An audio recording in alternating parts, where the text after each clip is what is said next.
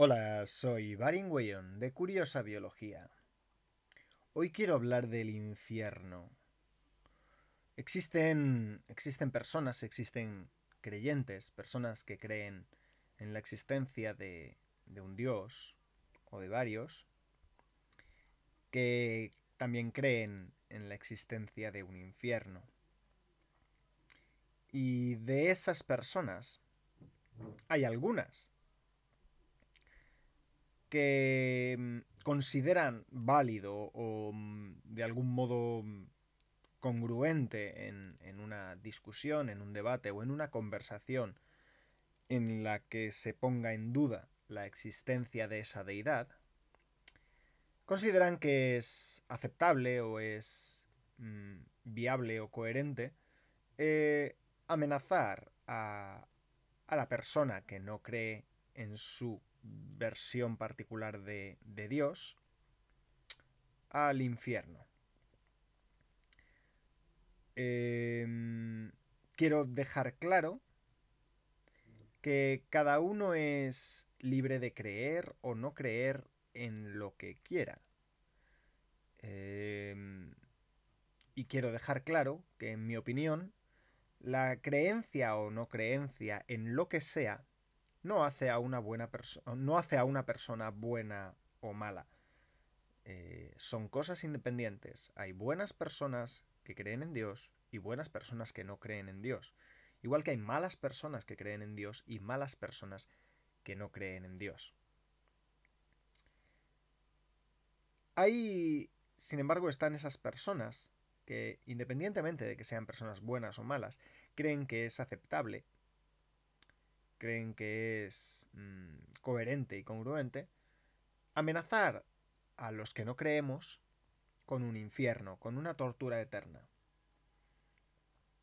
Quiero dejar algunas, algunos apuntes aquí de por qué a mí me parece algo no solo que no tiene validez, sino que constituye una barrera, una barrera que que, es además unidireccional, eh, que no me parece coherente y mm, que de algún modo mmm, desvirtúa cualquier tipo de discusión y, tira piedras, incluso tira piedras sobre el tejado del creyente.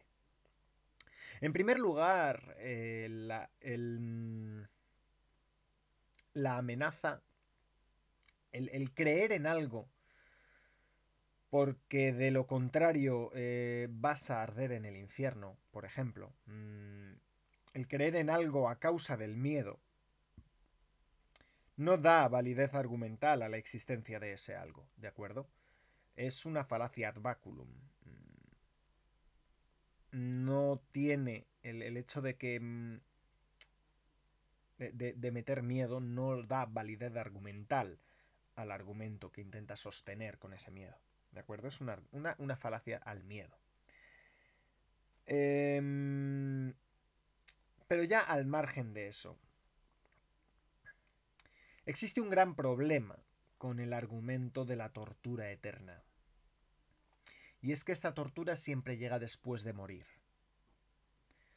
Es decir, no estás amenazándome a mí hasta morir, sino estás amenazándome con que voy a ser torturado después de haber muerto. Y eso genera un pequeño problema y es que yo ya voy a estar muerto. Mm, no se me ocurre ninguna forma de torturar a un muerto. Puedes intentarlo, puedes cortar al muerto en pedazos, puedes quemarle, puedes echar a un muerto en un tanque de ácido o meterle, no sé, palillos entre la uña y la carne, si quieres. Al muerto le va a dar igual, le, él, ya está muerto, no, no, vas a tener ninguna reacción por parte de, del, del cadáver, no le vas a hacer daño, no vas a conseguir torturarle porque está muerto. Ah, pero es que es una tortura para el alma. Eso tampoco tiene sentido suponiendo que definiésemos alma como, como, el conjunto de nuestras emociones, nuestros pensamientos, nuestra conciencia o incluso pues nuestra imaginación, nuestra conciencia, etc. Eh, si definimos alma como cualquier conjunto de aspectos cognitivos o mentales, Consideremos como consideremos esa definición, el alma no es más que un conjunto de reacciones físico-químicas y biológicas de un órgano llamado cerebro. Un órgano que se muere cuando nosotros morimos. Eh, cuando el cerebro muere, todas esas reacciones cesan, todo pensamiento, toda idea, todo rastro emocional o de conciencia, eh, todo sentimiento y todo producto imaginativo desaparece, eh, se apaga. dice Mauricio Schwartz que creer que un cerebro muerto puede pensar equivale a creer que un estómago muerto puede digerir. Si intentas definir alma como algo que está más allá de la biología, te encuentras con un problema y es que no puedes demostrar su existencia. La navaja de Occam nos invita a rechazar cualquier entidad cuya existencia sea innecesaria y no esté, demostrada. Y la navaja de Hitchens nos lleva a su vez a rechazar cualquier argumento que incluya este tipo de afirmaciones que no están demostradas. Entonces, mm, de momento no encontramos nada que tenga una validez, porque esa tortura es después de la muerte y después de la muerte ya estás muerto. Vamos a suponer, por el bien del argumento, que fuese posible de algún modo sufrir una tortura eterna. Vamos a apartar ese incómodo aspecto eh, de, que nada está demostrado y que, y que por tanto no tiene ningún tipo de validez y vamos a dar el paso siguiente.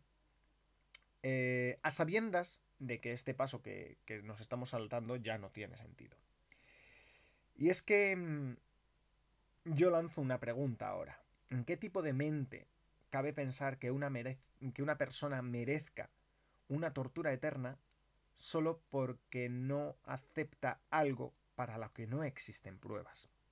Porque muchos creyentes creen, eh, y esto me lo he encontrado en Twitter cientos de veces, que las obras no importan, que lo que importa es aceptar a no sé quién como Salvador y ya te vas al cielo y si no vas a ir al infierno. Independientemente de que hayas sido bueno o hayas sido malo, si tú aceptas a no sé quién como Salvador y te arrepientes de tus pecados, vas al cielo. Y si por muy buena persona que hayas sido no lo aceptas como Salvador, entonces te vas al infierno, al carajo. Entonces, mi, pregunta es esa. Eh, ¿Qué sentido tiene condenar a alguien a una tortura eterna, y eterno es mucho tiempo, solo por no aceptar la existencia de algo para lo que no hay pruebas de, esa, existencia. Es decir, suponiendo que exista un Dios y suponiendo que ese Dios me haya creado, me ha creado con un cerebro racional. Y estoy suponiendo, porque sé de antemano que yo no soy producto de una creación, pero incluso suponiéndolo, incluso entrando en ese juego, entrando en ese en ese conjunto de suposiciones que sabemos falsas, pero como digo, vamos a aceptarlo para, por el bien del argumento, eh, ese Dios me ha creado con un cerebro racional que puedo utilizar para pensar. Y lo uso para pensar.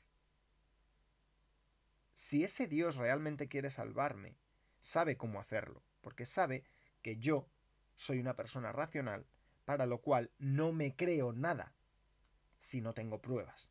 Necesito evidencias de que algo existe para aceptar la existencia de ese algo. Y bueno, siendo un Dios todopoderoso, no tendría ningún problema en mostrar esas evidencias y salvarme adecuadamente.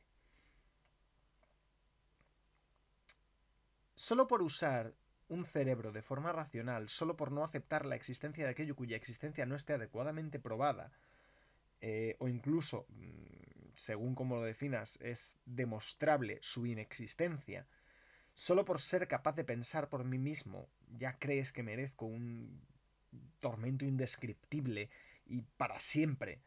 Eh, con eso estás destrozando la idea de que tu Dios sea bueno y misericordioso. Un Dios bueno no torturaría a nadie. Un Dios misericordioso perdonaría a la gente las cosas malas, pero sobre todo un Dios bueno y un Dios misericordioso no condenaría a nadie por pensar. ¿Por qué un dios crearía una persona con cerebro para condenarlo después solo por usar ese cerebro de forma racional?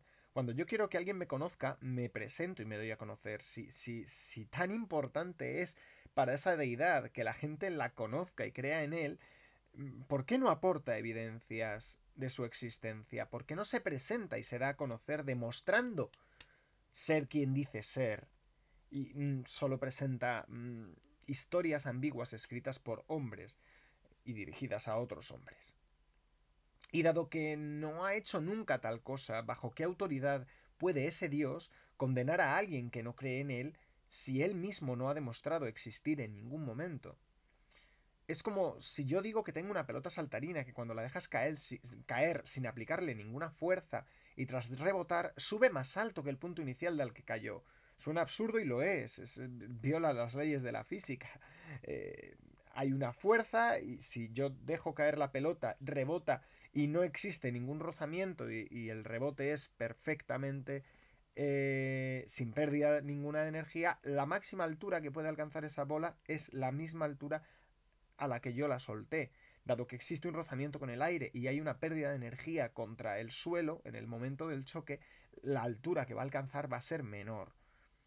Y eso es la física. Sin embargo, yo te pido que te creas que esa pelota existe, una pelota que puede llegar más alto que el punto de, soltarla cuando la sueltas sin imprimirle ninguna fuerza. Además te exijo, te exijo que creas que existe esa pelota mágica capaz de crear energía de la nada. Eh, pero yo no te voy a enseñar la pelota, nunca te la voy a mostrar, pero si no crees que la pelota existe te voy a torturar. No tiene ningún sentido. Entonces, el argumento es el de siempre. No es Dios el que te condena. Tú eres libre y te condenas tú mismo por no creer. Por eso se llama el Salvador. Eso también es absurdo. Si yo soy libre de ser o no condenado, inmediatamente elijo no ser condenado. No soy estúpido. Pero no funciona así. En el irreal escenario en el que nos presentan este, esta, mm, esta cuestión, es la deidad la que te está condenando. Es la deidad la que crea un infierno. Es la deidad la que todo lo que sucede es voluntad suya. No, nada puede suceder que sea contrario a la voluntad de ese Dios. Y, y, es el mismo Dios el que establece las normas según las cuales la gente va al cielo o al infierno. Dios, Dios es un mafioso en el, en el, en el escenario en el que nos estamos colocando. Es un mafioso que te obliga a aceptar una ayuda que no necesitas a cambio de que le pagues un, dinero que no todo el mundo puede pagar. Y es además una ayuda que nunca llega. Y además cuando no tienes dinero, te lleva al sótano con varios de sus matones y te dice con tranquilidad que tienes que pagarme porque si no lo haces te tendré que arrancar los dientes, dislocar los dedos y partir las piernas. Ese es Dios. Ese es el Dios que crea un escenario según el cual o haces lo que Él te dice o te condena. Te apunta con la pistola en la cabeza y te dice págame 100 euros. Y si no me los pagas te estarás suicidando. No, esa persona no está cometiendo suicidio y tú no te estás condenando por no creer en Dios. En ese escenario macabro en el que existe ese mafioso mm, interestelar, es ese Dios el que está condenando a la gente, mientras dice que se están condenando a sí mismos.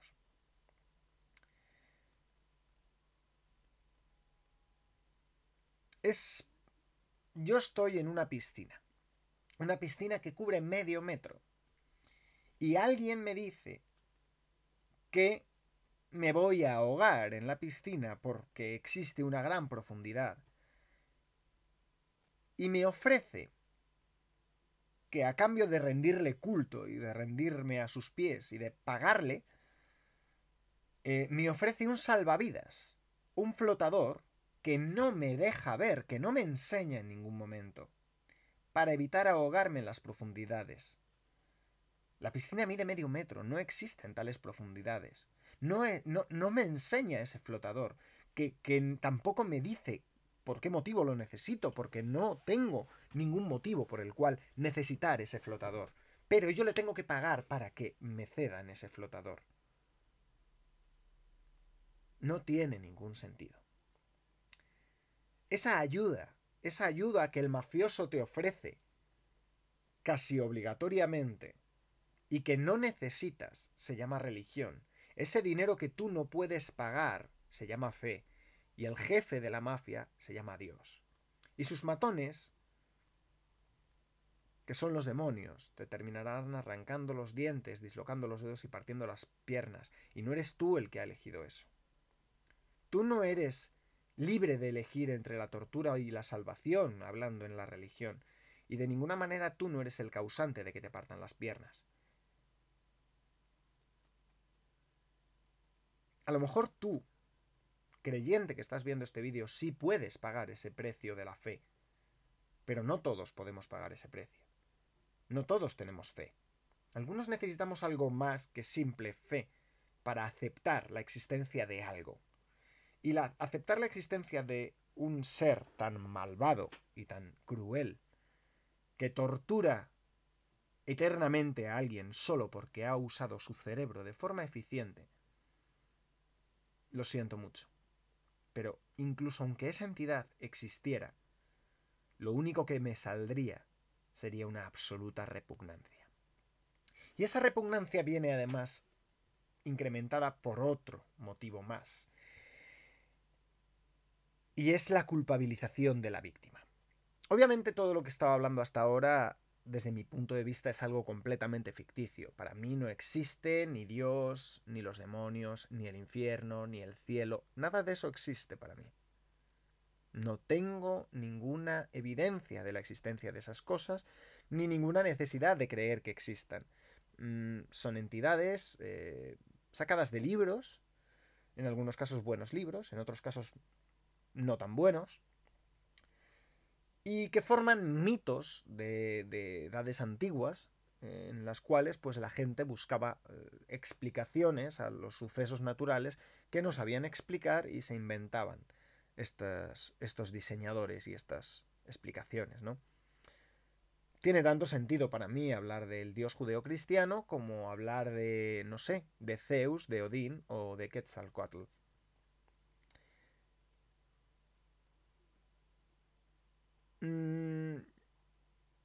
Pero sin embargo hay gente, hay gente que lo cree. Yo no creo que ningún crimen justifique una tortura eterna, pero tampoco creo que sea posible realizar una tortura eterna. Pero hay gente que lo cree. Y eso tiene un problema. Em, la culpa de que vayas al infierno es tuya por no aceptar el salvavidas.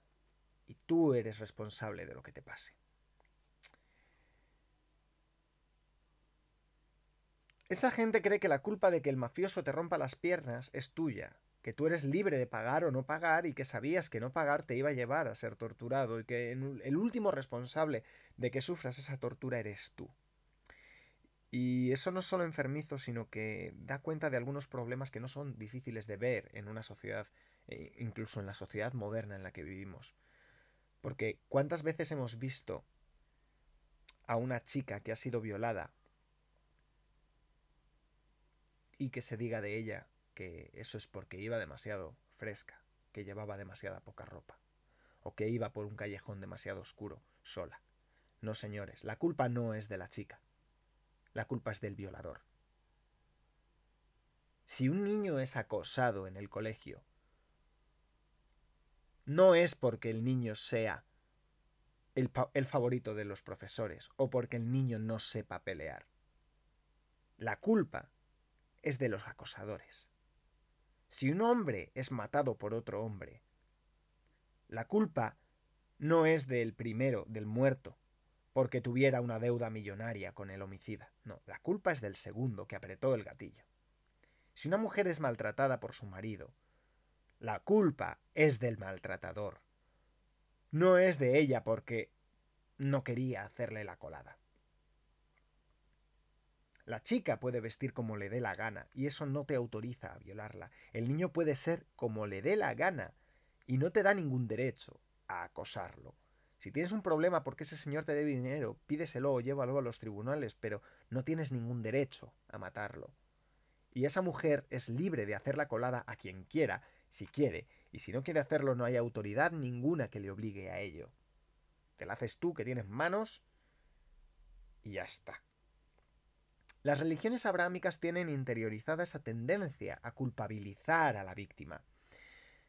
La tiene muy profundamente interiorizada, ya que esa es la base de la creencia en el infierno. Si no sirves a Dios, caes al infierno, y si caes al infierno es culpa tuya.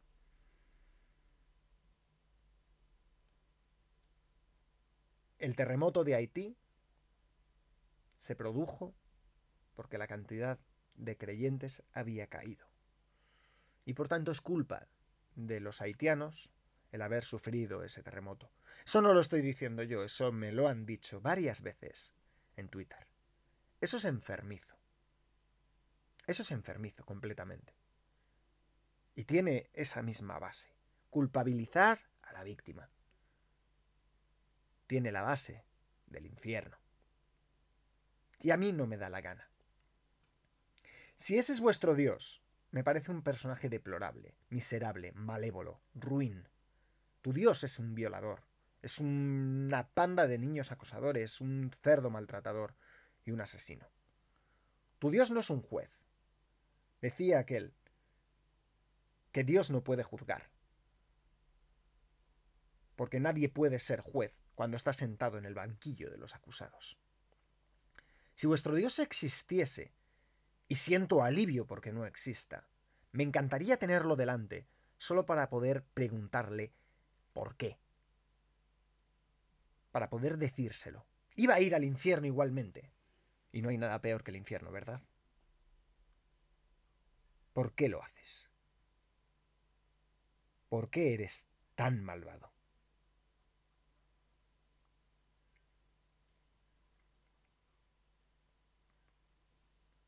Hay que respetar las creencias de los demás. ¿Cuántas veces me han dicho eso? No, bueno, si ellos creen en el infierno hay que respetarlo. No lo respeto. Lo siento, no lo respeto, respeto a las personas. Yo respeto a las personas. Y es algo que siempre quiero preguntarles. A las personas que me desean el infierno, a las personas que me amenazan con el infierno. ¿Por qué queréis ser mi enemigo? Yo respeto a las personas, respeto a las personas por lo que son, miembros de, mi misma especie que merecen recibir de mí lo mismo que a mí me gustaría recibir de los demás. Yo no respeto las creencias, no considero que ninguna creencia sea respetable solo por ser una creencia. Para que una creencia sea respetable tiene que ganarse mi respeto. La creencia de que una persona es inferior a otra por su condición, yo qué sé, física, religiosa, mm, eh, orientación sexual, eh, sexo, mm, color de piel, eh, color de ojos, me parece absurda. Y no es respetable, de ningún modo es respetable. Lo siento. Respetaré de entrada a la persona, crea en lo que crea. En tanto, el cuento, en tanto en cuanto esa persona no falte al respeto a los demás, no me falta el respeto a mí. Pero no puedo respetar una creencia que no es respetuosa. Las creencias por ser creencias no tienen por qué ser respetadas. Muchas religiones, muchas religiones y muchos religiosos, no todos, pero muchos religiosos anteponen las creencias religiosas por encima de las personas. Creen que su creencia merece más respeto que las mismas personas. Y eso lo he visto cientos de veces. En discusiones en Twitter surge cada poco tiempo. Y el motivo es el mismo. Si no crees lo que yo creo, mereces el infierno. ¿Por qué? ¿Por qué motivo quieres ser mi enemigo? Yo puedo meterme con tus creencias. Pero no me estoy metiendo contigo, no me estoy metiendo con la persona que eres tú. Me estoy metiendo con unas creencias que no eres tú. Son unas creencias que tú has aprendido o que tú que a ti te han adoctrinado en ellas. Pero no estoy hablando de ti, estoy hablando de tu libro, estoy hablando de tus creencias, estoy hablando de tu Dios, no de ti. ¿Por qué te lo tomas como si fuera algo personal? Lo entiendo, Entiendo que te lo tomes como si fuera algo personal, pero lo que tienes que entender es que las personas están por encima de las creencias.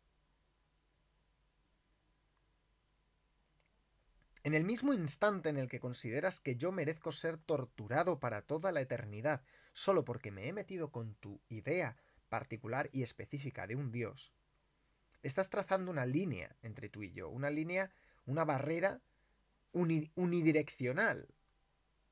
Solo va en un sentido, tú contra mí. Yo no establezco ninguna barrera contra ti por el hecho de que tú creas en lo que quieras creer. Podemos tener una conversación sobre esas creencias y no pasa nada. Y hay personas con las que tengo esas conversaciones y no pasa nada. Hay, por supuesto, muchísimas personas que son religiosas y son coherentes con su religión. Y a ellos no va dedicado este vídeo, por supuesto que no.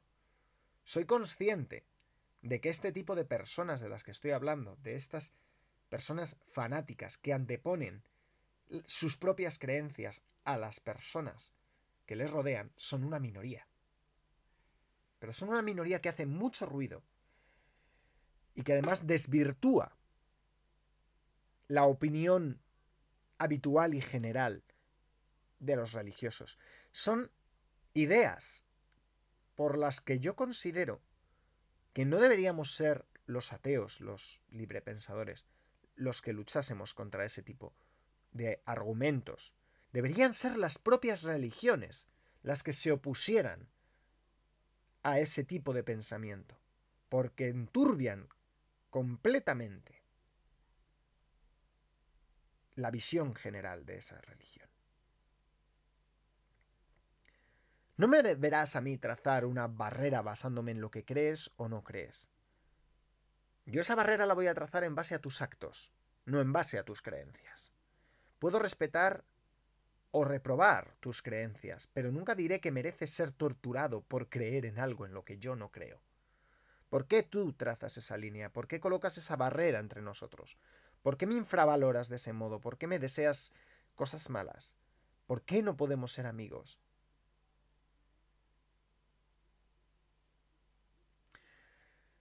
Existen personas que me responderán, es que yo no creo que merezcas el infierno solo por no creer en Dios. Entonces no tengo ningún problema contigo. Seamos amigos. No tengo ningún problema. Tú interpretas ciertos versículos de la Biblia de una forma distinta a como están realmente escritos. Porque la Biblia en realidad es muy clara con ese tema, pero tú reinterpretas esas escrituras em, cogiendo lo bueno y rechazando lo malo de ellas en base a tu propio código moral. Y me parece maravillosa. Me parece una decisión fantástica. Demuestra que tú eres mucho más moral que el Dios que está, que está descrito en la Biblia. Enhorabuena. Y esto lo digo por todos aquellos que, creyendo en alguna versión del Dios abrahámico,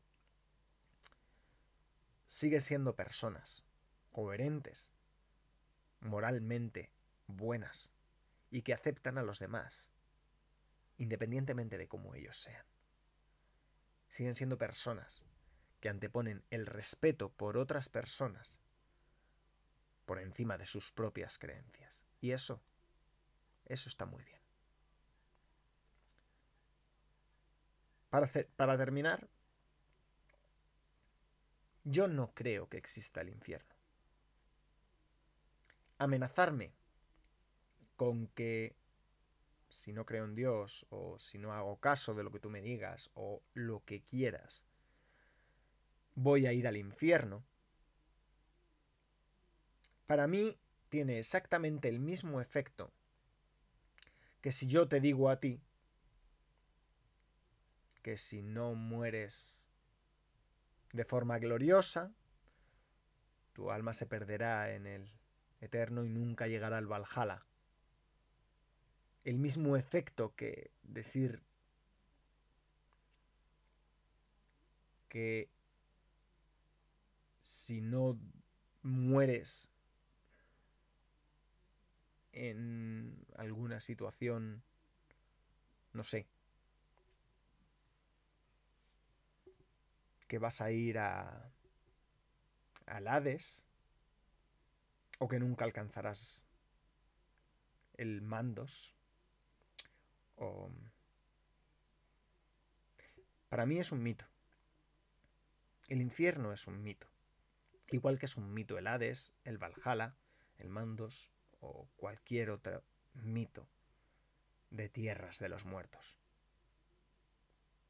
Igual que a ti no te da miedo que yo te diga que si no mueres de forma gloriosa jamás alcanzarás el Valhalla, porque tú tienes tus propias creencias respecto a la muerte. Que tú me digas a mí que si no acepto lo que quiera que quieras que acepte, que no voy a poder aceptarlo nunca porque no es, no es razonable, no es algo que para mí sea coherente siquiera. Que tú me digas que si no lo hago voy a ir al infierno, tiene el mismo efecto sobre mí. Al infierno se va cuando ya se ha muerto. Y cuando yo muera, todo lo que soy se habrá extinguido. Por lo tanto, no me da miedo tu infierno.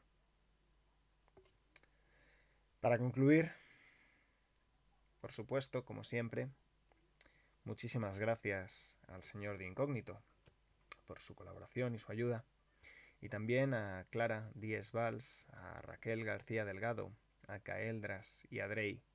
Muchas gracias a todos y hasta la próxima.